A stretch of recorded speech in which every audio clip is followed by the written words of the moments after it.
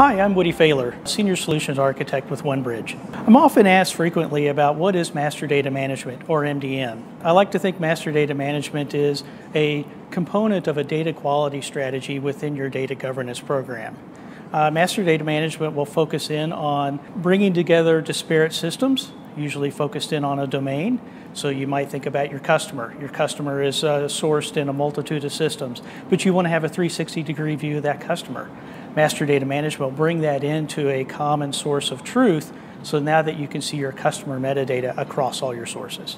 A couple core components that uh, you would think about with Master Data Management is your data ingestion strategy. How do you get data in? So that could be real time, that could be batch, uh, it could be on a scheduled basis using APIs. Uh, then you have a data quality process, and that data quality will enrich the data to improve its quality. You also want to consider about your storage. How much data, what data, where will it be located in the cloud solution, on an on-prem solution? And then you'll think about your matching strategy. So identify those business rules from the business input itself on how do you process this data to merge it together. And the last piece is about publishing.